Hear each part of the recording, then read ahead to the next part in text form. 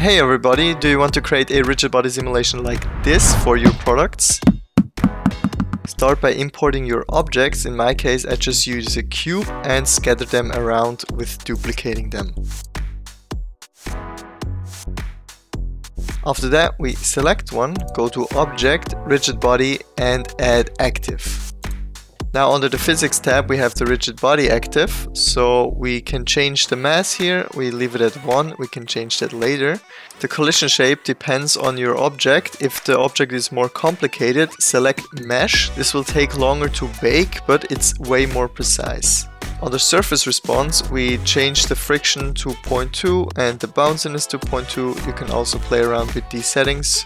Under sensitivity, the margin should be super low. This means that the objects can get super close together and it looks like they touch even though there is a small small little space. But you can't see this in the full simulation.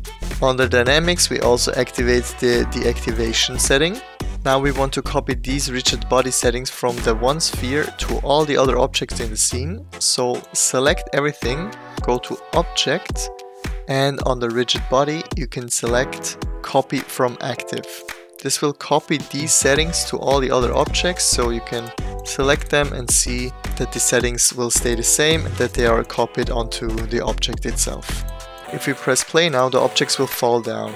That's because the gravity is still on. To deactivate it, we go to Scene and on the rigid body world, we can go to Field Weights and deactivate the gravity. So set it to zero and if we press play now, the balls will stay in the air. Now comes the fun part, we can just add in a simple force field in the beginning, scale it a little bit up and always if you scale it, press Ctrl A and apply the scale. Now in the force field settings we can change the strength to minus 10 and see what's happening. As we can already see the balls will move together and collide in the middle. This is a perfect start. In my opinion the balls move a little bit slow so we increase the strength so let's go to minus 50 and see how it looks. This one is maybe a little bit too much so let's go back to minus 25 and that is good for me. Just play around with the different settings you have until you find something you like.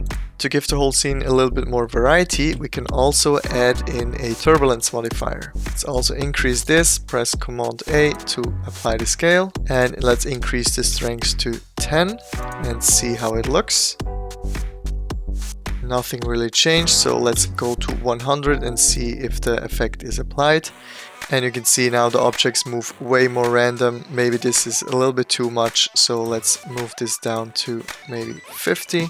And this looks good in my opinion. Now we want the objects to also move in a circle, so we have some movement going on. For that we can add in the force field vortex. Let's also scale the vortex up first and then rotate it 90 degrees on the x-axis, so it points in one direction. Let's see how this looks. As you can see now the vortex modifier works, the balls line up in a line here and rotate, but we don't want to actually have the balls line up in, in this straight line. So we just change the shape from plane to point. And if we press play now, we can see the balls just start rotating without going in this straight line. The strength is a little bit too much, so let's switch this back to, let's say, 3 and there you go. Maybe still a little bit too much, but you get the point. Just play around with all the different settings you have now.